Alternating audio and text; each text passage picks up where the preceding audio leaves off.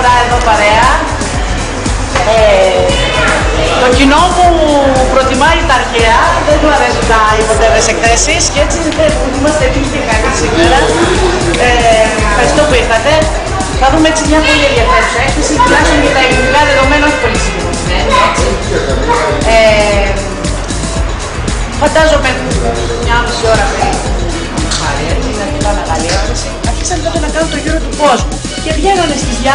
ε, ε, επιδείξεις μόδας και γράφανε, άμα διαβάσετε εικόνες, περιοδικό εικόνες, περιοδικό με, συ- ε, εφημερίδα με συγκρινή, εφημερίδα καθημερινή της εποχής, λέω δεκαετία του 60 τώρα, η ελληνική μόδα στα ευρωπαϊκά σαλόνια.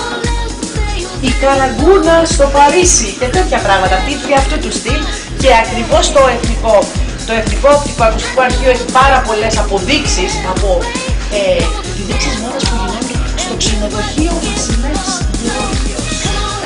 Ε, King George's House ήταν ελληνική, ε, όπου οι κυρίες του καλού κόσμου πηγαίνουν εκεί και παρακολουθούν σε τέλεια φιλανθρωπικά επιδείξεις μόδας οι οποίες έχουν εκείνο το εκπληκτικό που έκανε μεγάλη μπαμ, έκανε πυρπυρή που είναι κανονικά παλτό υποτίθεται αστικό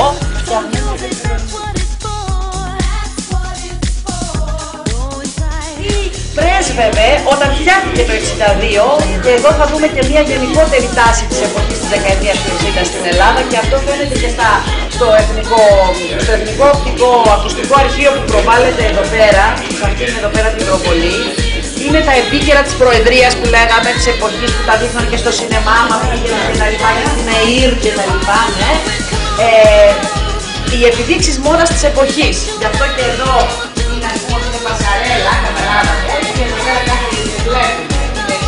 έχει μια απεικόνηση αυτού. Το 1960, τη δεκαετία του 60 λοιπόν, ξαφνικά, μέσα σε μια στροφή προς την παράδοση, προς τις ρίζες, να ανακαλύψουμε την ταυτότητά μας και όλα αυτά, οι μόδιστροι ανακαλύπτουν την παράδοση.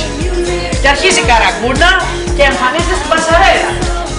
Και έχουμε απομιμήσεις διαφόρων ρούχων όχι μόνο αυτά που είχε ο Κωνσταντρόπουλο, που είναι ας πούμε εκλεπτισμένες αστικές δημιουργίες που έχουν μοτίβα, αλλά αν πάτε δίπλα θα δείτε ρούχα φτιαγμένα από πράγματι από καλό είναι να μην έρθετε από εδώ, να έρθετε από πίσω, από υφαντά και μάλιστα δημιουργίες της ίδιας της Άννας Σικελιανού. Άννας Σικελιανού, η δεύτερη γυναίκα του Έτσι την γράφουν, την κάνουν λοιπόν τις φακές, έτσι. Την βρέχουν με νερό, κάπως κάνουν μια επεξεργασία, το τρίβουν, το τρίβουν και αυτό αρχίζει και βγάζει ένα πράγμα σαν μακαρόνι. Ένα νήμα. Έχουμε μια αριστοτεχνική μέθοδο με την οποία το μετατρέπουν σε νήμα και με αυτό το νήμα φέρνει. Πόσο παρόμοια είναι έτσι; 1910, 2005, έτσι, αυτό το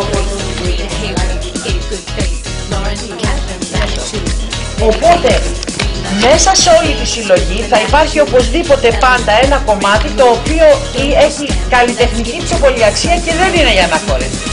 Τέτοιου είδους στυλ. Καλά, ο Πάκο Ραμπάν κάνει μόνο τέτοια γιατί ο Πάκο Ραμπάν είναι αρχιτέκτονας, δεν ζει από αυτό.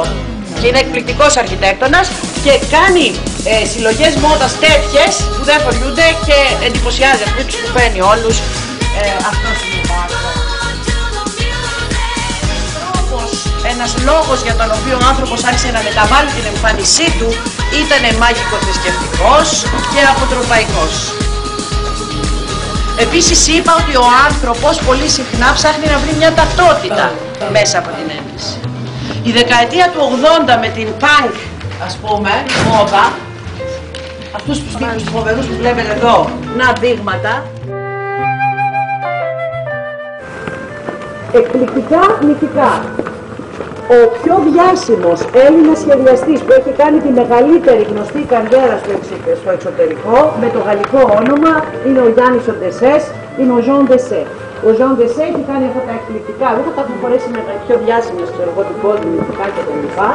Μεγάλος σχεδιαστής και μπαίνουμε βέβαια σε μια εποχή ε, που αλλάζουν τελείως τα πράγματα στη μόδα πόσο μετά το δεύτερο παγκόσμιο πόλεμο ε, έχουμε στην Αγγλία αυτή την αντίδραση στη Βικτωριανή εποχή. Ξέρετε, η Βασίλισσα Βικτωρία ήταν πολύ πουριτανή και είχε επιβάλει και επειδή ήθελε να προστατέψει ε, την ιδιοκτησία άντρα της από τα κακά βλέμματα, απαγόρευσε τα χρωματιστά και πολύ προκλητικά και ωραία ελκυστικά ρούχα στους άντρες και τους έδωσε όλους μπλε γκρι. Καφέ. Έκτοτε οι άντρες ακόμα φοράνε μπλε καφέ. Επίσημα Ναι, το βλέπεις στη Βουλή. Ναι, στη Βουλή. Ε, και για ως αντίδραση σε αυτό μετά τον Δεύτερο Παγκόσμιο Πόλεμο δημιουργείται αυτή η μόδα Carnaby Street που λέμε στη Λον- στο Λονδίνο ε, όπου αρχίζουν και φροντίνουν τους άντρες τους ξανακάνουν τι; Αυτό που είναι Η αφήσα εδώ σας έχει όλα τα οικονομικά στοιχεία για την, ε, τι συμβαίνει σήμερα με την ε, βιομηχανία του ενδύματος. Εγώ όμως όπως πάντα μου αρέσει θα τελειώσω την ξενάγησή μου με κάτι πιο χαροπό. Όχι τόσο δραματικό όσο τα μικρά παιδιά που δουλεύουν στη βιομηχανία του ενδύματος.